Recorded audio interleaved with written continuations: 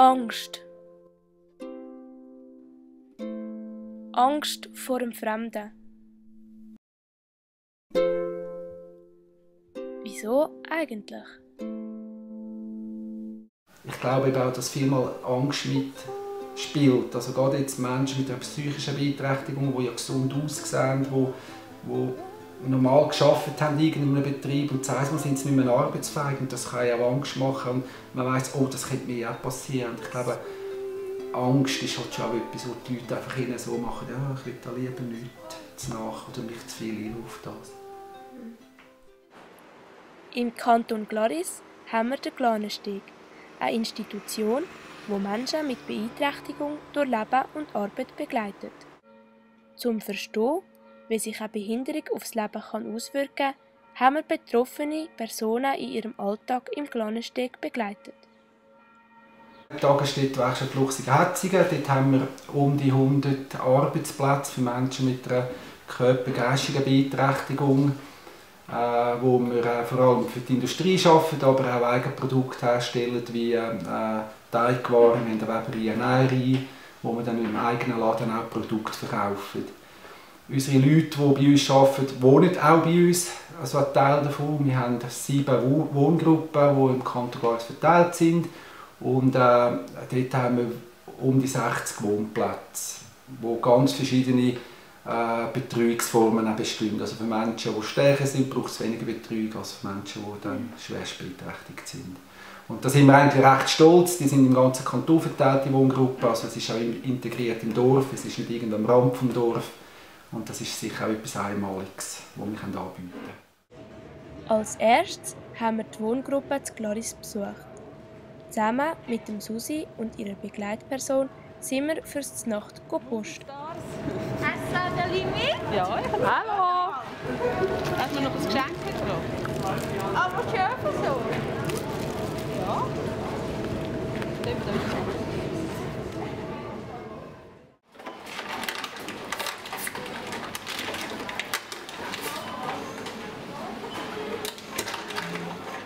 Da sie ja sehr selbstständig sind, ähm, ist es da so organisiert, dass sie äh, bei allen Sachen dürfen mithelfen oder mühen. Für die einen ist es manchmal ein Müssen.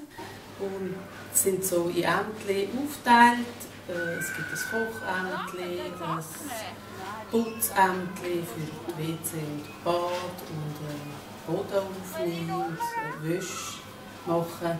Das sind so die Ämtli, die wir haben. Und da sind sie für zwei Wochen eingeteilt und äh, es gibt einen genauen Plan, wo das da alles dazugehört und ja, können sie dort nachschauen und natürlich brauchen die einen sehr viel Hilfe bei den einzelnen Ämtern und die anderen äh, müssen vielleicht nochmal nachfragen, vielleicht mit Posten, wie viel sie haben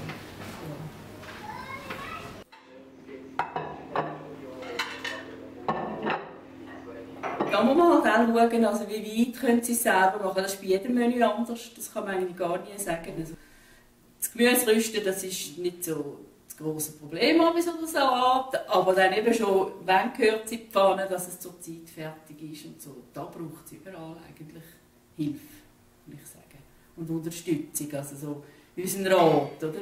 Und dann gibt es, wenn es etwas Einfaches ist, und mit Spaghetti kochen zum Nacht, dann gibt es derartige, die das so so weit schon fast selber können. Eigentlich. Was eben dann die Schwierigkeit ist, die grosse Pfanne rumlaufen, wenn man für 10 kocht. Oder sogar für 11. Dann gibt es grosse, schwere Pfannen. Und das ist nicht immer ganz so einfach, wenn es dann noch heiß ist.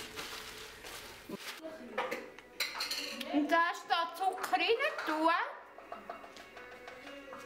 Nein. Wie viel muss ich rein tun?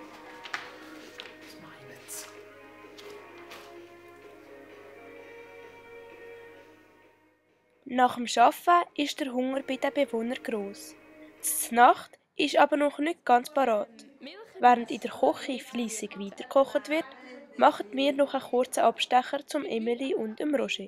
Das ist meine Hochzeitsbilder. Hochzeitsbilder, wow! Vom ähm, 6. August habe ich heiratet mit meinem Mann zusammen. Also speziell Äh, für die Wohngruppe Gloris ist sicher auch, dass wir ein Pärchen haben, das in einer Wohnung äh, im gleichen Haus selbstständig wohnt, mit äh, Unterstützung dort, wo sie sie brauchen. Wir kochen auch zweimal mit ihnen zusammen in der Woche. Dann können sie jemanden einladen. 6. August 2011 Amden. in Amden. Ja, den Ring vergessen haben. Nein. Was?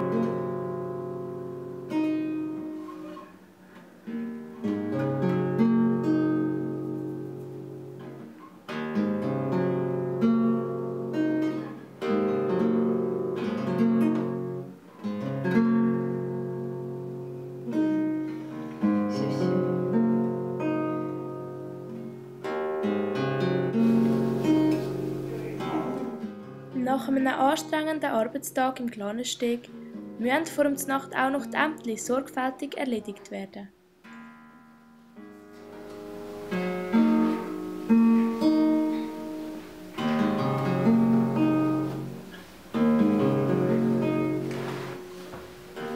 im Moment mit einer Lungenentzündung zu kämpfen.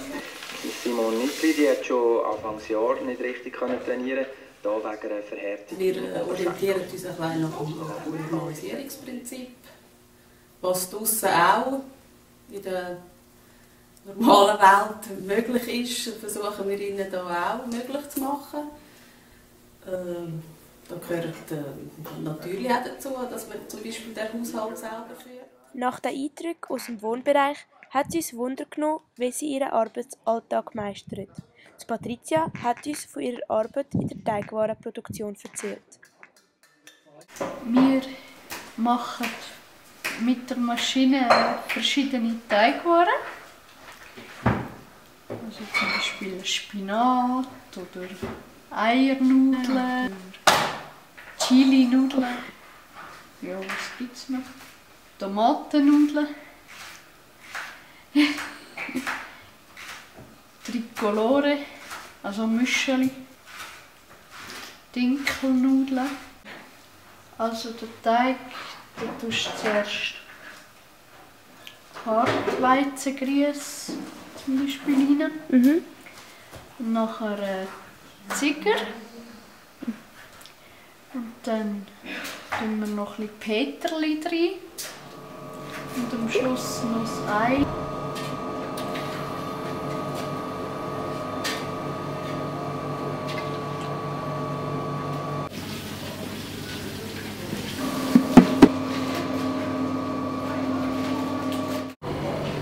Ei mit Wasser.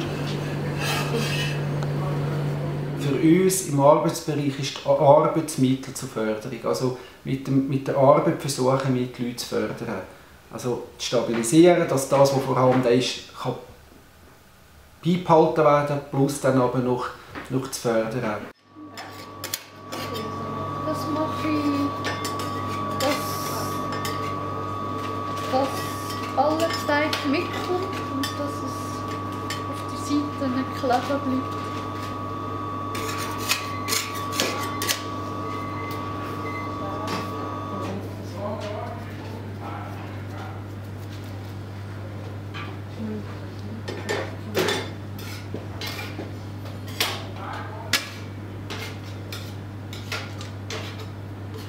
Für uns ist ganz wichtig, dass wir nach dem Normalisierungsprinzip Prinzip schaffen. Also wir wollen so normal wie möglich sein. Also wir wollen es nicht unterscheiden zu einem Betrieb, äh, wo du, von einem ungeschützten Betrieb. Also wir haben Arbeitsverträge, wir haben, wo alles geregelt ist. Wir haben das Angestelltenreglement, wir haben Betriebsordnungen, wir haben einen Mitarbeiterrat. Also wir wollen so normal wie möglich sein.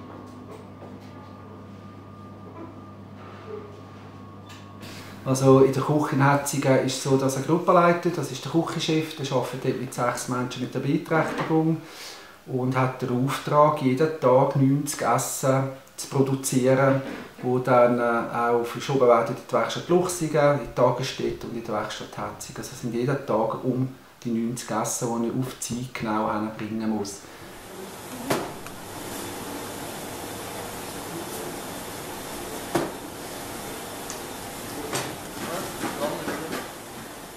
Ist sehr einfach, mit unseren Leuten zusammenzuarbeiten, weil wir sind ja, von dem her wir, haben wir die Ausbildung gemacht und sind auf das geschult und können dementsprechend auch auf jedes verschiedene Klientel eingehen.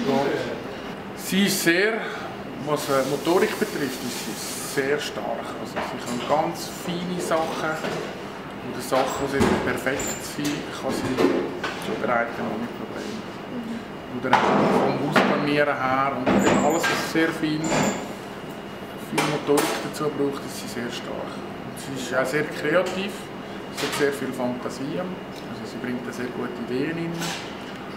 Und vom Hobby her sowieso, was mit ihren Zeichnungen und Malen, die sie tut, und Miss Schweiz und so weiter. Man sieht auch dort sind sehr starke, also sehr viele Details drin, die jetzt bei mir jetzt nicht hebt. Ich bin zu wenig gut für so Sachen. Aus der Küche sind wir weitergegangen und haben den Peter und den Gabriel in der Weberei besucht.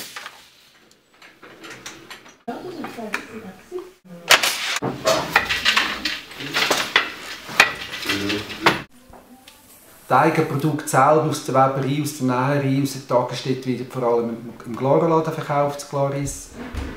Und äh, einmal im Jahr haben wir den Weihnachtsmarkt. Das ist eigentlich der wichtigste Tag für unsere eigenen Produkte, wo wir den ganzen Tag die Sachen verkaufen und wo wir dann auch Öffentlichkeitsarbeit betreiben. Äh, betreiben ja. Der Peter Dies arbeitet am Webstuhl, wo er Küchentücher und Teppich für den Verkauf produziert.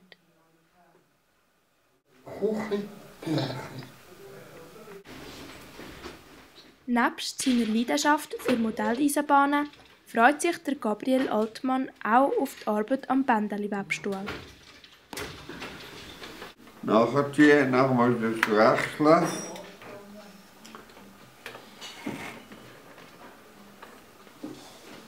Wechseln muss ich da noch.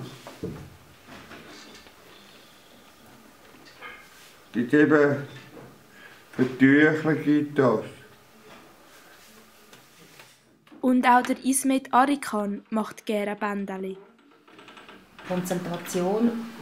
Man sieht er dort einmal von der rechten auf die linke Seite das Schiffli führen und dann von links nach rechts. Das braucht beide Gehirnhälften. Also das ist sehr gut für Konzentration. Gerade am Montagmorgen war er ein Wochenende und da sind vielleicht ein bisschen Einflüsse, Gedanken, die man hat. Also wie gesagt haben wir äh, internen Laden. Der Laden ist jetzt auch erst seit äh, gut drei Jahren haben so umgebaut. Und der ist vor allem da für unsere eigenen Produkte zu verkaufen, die wir in der Werkstatt Hetzungen herstellen. Das wäre dann eben in der Weberei, Näherei oder auch Teigwarenproduktion. Wie auch, aber auch äh, mit der Tagesstätte zusammen, wo wir sehr intensiv zusammenarbeiten, wo es dann Richtung Kartenproduktion geht oder auch äh, Dekorationsgegenstände. Also wir haben Produkte wie äh, äh, verschiedene Tüchli, äh, Ziegenhöreli-Tüchli, wir haben äh, äh, verschiedene Farbkreistüchli, wir haben Küsse, Heuküsse, wir haben äh, verschiedene äh, Necessaire-Grössen, wir haben Teppich aus verschiedenen Materialien. Wir arbeiten vor allem jetzt in der Werkstatt Luchsingen für, für die Industrie im Kanton Glaris. Das sind, sind das Stöckli, Kunststoffschwanden, äh, Maschinenfabrik. Also da haben wir eigentlich den ganzen Kanton äh, Arbeit um. Neugierig geworden auf das, was der Peter Höfti uns über die Werkstatt erzählt hat, sind wir die Mitarbeiter dort besuchen. Ja, da sind wir in der Werkstatt Luchsingen, äh, wo der Reto bei uns arbeitet. Der Reto ist ein sehr starker Mitarbeiter, wir sind sehr zufrieden mit ihm. Er ist vor allem spezialisiert auf äh, Kleiderrollen, wie ihr hier seht. Am Rundtisch macht er mit den grossen Aufträgen, Coop, Migros, Schwanden, Electrolux, also all die grossen Kantone. Es, geht sehr viel über die Arbeit, also man identifiziert sich über die Arbeit und das ist in der Werkstatt Luchsig auch wirklich sehr spürbar. Und es ist natürlich auch schön für die Leute, weil sie, sie sehen die Produkte dann irgendwo in einem Schaufenster, in einem Katalog, die Produkte, die sie herstellen. Und das ist natürlich für, für, für die Leute selber sehr wichtig und auch äh, ja, für das Selbstwertgefühl äh, sehr äh, wichtig und förderlich. Ein Stock weiter oben arbeitet der Roger, der gerade Sportlernahrung verpackt. Hier oben haben wir viel so Mailing-Aufträge, das heisst äh, Abstimmungsunterlagen, so Briefe packen, Briefhalten, äh, etikettieren, Adressetikette, das haben wir viel hier oben. Das sind sehr abwechslungsreiche Aufgaben, einfach die Leute. Da hat es von ganz einfachen Arbeiten bis ganz schwierige Arbeiten, haben wir so alles und das ist noch gut, dass man verschiedene Arbeiten hat für, für, für die verschiedenen Leute, die verschiedene Fähigkeiten haben. Äh, dann der, der Großschnell tut dann für eine Schablone abzählen, Mhm. dass es sicher stimmt, oder? Ja. Dass er, dass er eigentlich nicht mehr so die 10 zählen, sondern dass er es einfach anlegen und dann die 10 hat. Am Ende von unserem Besuch haben wir noch dürfen sehen, wie Schaltkästen im Planensteg zusammengebaut werden. Das erste, erste zwei, drei Mal machen wir es miteinander. Mhm. Und dann schaue ich dann über die Finger und, und sage etwa Tricks, es einfacher gehen. Und dann lässt man es machen. Eigentlich der Aufbau ist immer gleich. Also zuerst mechanische Kanäle schneiden, Schienen schneiden, drauf machen und dann noch die Klemmen drauf. Und dann noch vertragen.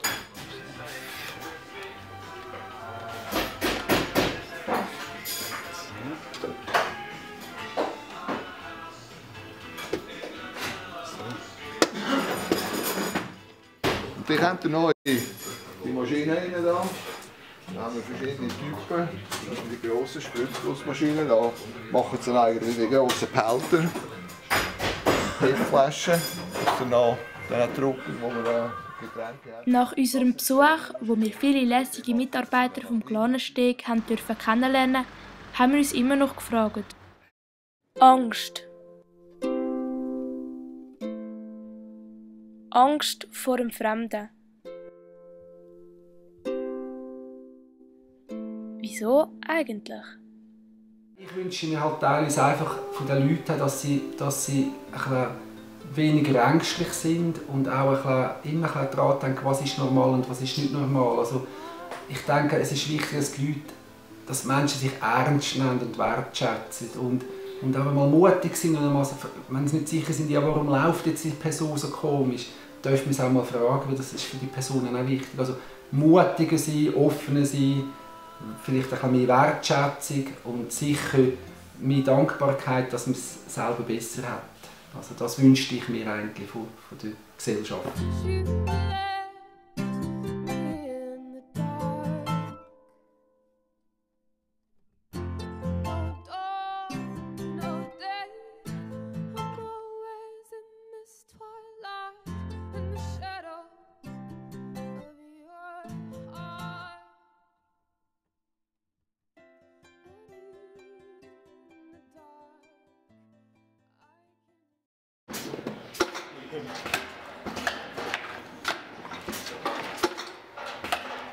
Wird rausgeschnitten. Das zeigt doch, wie nah du bei, den, Ja, ja. bei deinen Mitarbeitern Ja, bist. so, genau. Ja, ist gut. Genau. Volks, volksnah. Genau. Der Chef unter Leuten, unter dem Volk oder so. Wie geht's euch?